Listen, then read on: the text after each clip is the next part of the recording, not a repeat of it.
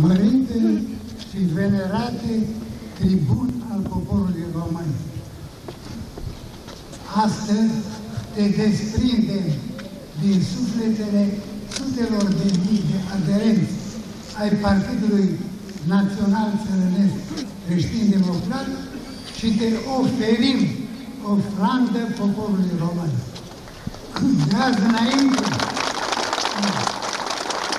Iuliu Maniu nu este o figură politică, ci un mit al rezistenței românești.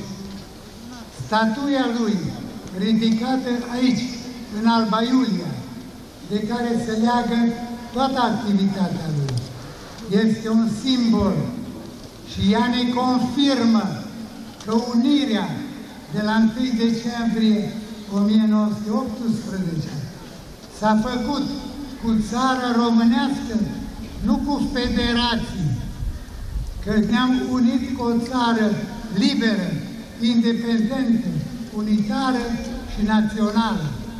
Așa va rămâne pe vecie.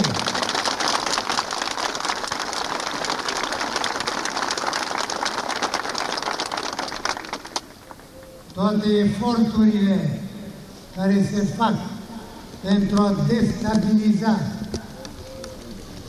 soluția pe care am adus-o la Alba Iulia sunt fără obiect și fără rezultat. România rămâne una și indivizibilă, un, un stat modern care acordă tuturor cetățenilor drepturi egale, dar care nu acceptă ca în propria lui țară să fie batșocorit de musafirii pe care i-a primit.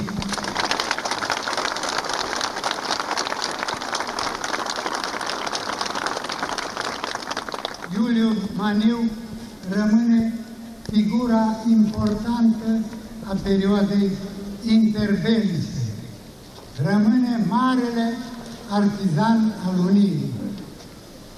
Rămâne ca simbolul lui să ne călăuzească în viitor, pentru că alături de principiile sfinte pe care le-a enunțat tot poporul român, alături de el să fie gata să-și apere drepturile, să-și apere libertățile, să apere integritatea teritorială a țării, să apere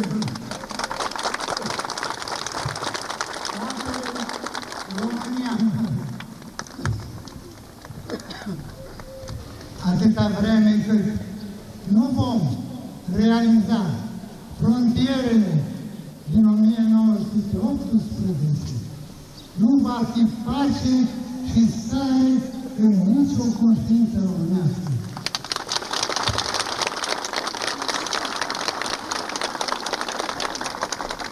Trebuie să ne facem România pe care ne-au dat-o înaintașii noștri, să o ducem la prosperitate și să aducem fericire poporului român. Mulțumesc în altă Sfântei sale, domnului primar și artistei care a desăvârșit în chip strălucit monumentul Minunii Maniu.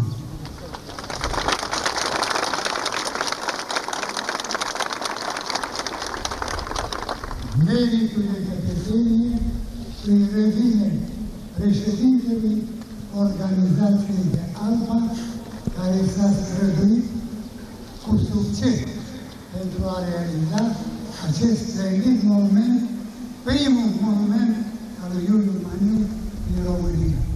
Fie, fie ca numele lui Maniu să ne călăuzească pentru pașii noi pe care trebuie să-i facem pentru întregirea țării, pentru fericirea poporului.